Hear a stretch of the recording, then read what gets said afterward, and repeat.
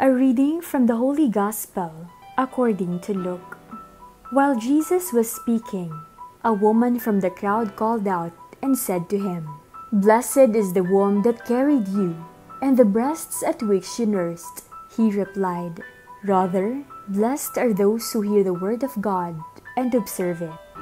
The Gospel of the Lord. A woman from the crowd. In Jesus' time, Jewish society has a low regard for women. Jesus, however, champions their rights and gives voice to women. He even makes them an important part of his public ministry.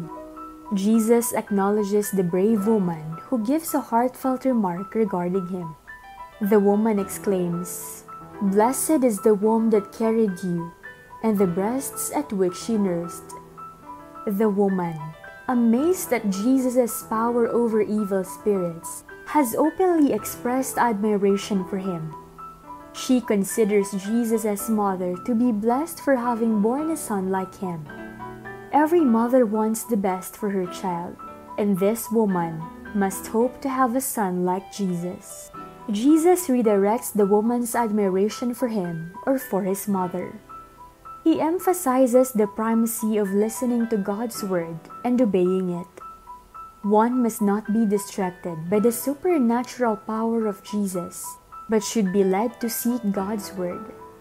One must not be lost in admiration, amazed at the privilege of one's blood relations with Jesus.